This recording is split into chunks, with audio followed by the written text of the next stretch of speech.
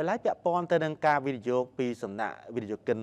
វៀតណាមមកកាន់ប្រទេសកម្ពុជាវិញក៏ត្រូវបានឯករដ្ឋទូតបាននៃប្រទេសវៀតណាមក៏បានអរគុណដល់រដ្ឋបាលកម្ពុជារបស់យើងផងដែរដែលបានជួយសម្រួលដល់ការវិនិយោគរបស់វិនិយោគិនវៀតណាមមកលើប្រទេសកម្ពុជានៅក្នុងប្រទេសកម្ពុជារបស់យើងដែលឯកឧត្តមឯករដ្ឋទូតវៀតណាមក៏បានអរគុណបាទក្នុងនោះគឺបានបញ្ជាក់នៅក្នុងគណៈដែលឯកឧត្តមវូខ្វាងមិញដែលបាន គណៈដែលឯកឧត្តមនិងលោកវីនឋានយងដែលជាប្រធានធនាគារអភិវឌ្ឍកសិកម្មគឺថាបានអញ្ជើញចូលជួបនិងគោរពជូនពរឯកឧត្តមឧបនាយករដ្ឋមន្ត្រីយឹមឆៃលីបាទប្រធានគណៈប្រឹក្សាស្ដារអភិវឌ្ឍវិស័យកសិកម្មនិងជនបទដែលធ្វើឡើងនៅវេលាថ្ងៃ ទី22វេលាព្រឹកមិញនេះបាទនៅឯទីសេការគណៈរដ្ឋមន្ត្រីឯកឧត្តមវូខ្វាំងមិញបានមានប្រសាសន៍ថាប្រទេសកម្ពុជានិងវៀតណាមធ្លាប់មានទំនាក់ទំនងល្អជាមួយគ្នាជាយូរមកហើយតាំងពីការតស៊ូរំដោះជាតិចេញពីអាណានិគមនិយមបារាំងមកម្លេះរហូតដល់ការរំដោះប្រទេសនិង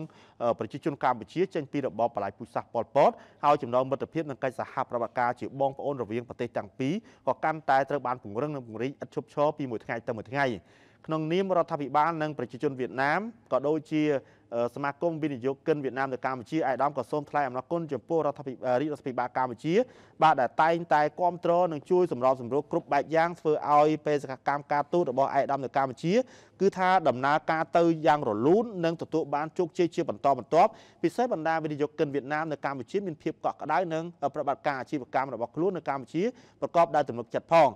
ជាការឆ្លើយតបវិញអាយដាមឧបនាយករដ្ឋមន្ត្រីយឹមឆាលីក៏បានមានប្រសាសន៍ថ្លែងអំណរគុណជូនចំពោះអាយដាមឯកអគ្គរដ្ឋទូតវៀតណាមប្រចាំនៅកម្ពុជានិងប្រតិភូ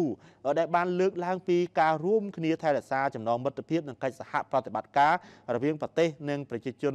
នៃប្រទេសទាំងពីរយ៉ាងល្អហើយពាក់ព័ន្ធទៅនឹងវិស័យសេដ្ឋកិច្ចក៏ត្រូវបានឯកឧត្តមឧបនាយករដ្ឋមន្ត្រីនឹងបានលើកឡើងដែរថាក្រុមហ៊ុនវៀតណាមជាច្រើននឹងបានដាក់បណ្ដាក់ទុនវិនិយោគនៅកម្ពុជាច្រើនវិស័យនៅក្នុងនោះមានដូចជាដំណាំកៅស៊ូ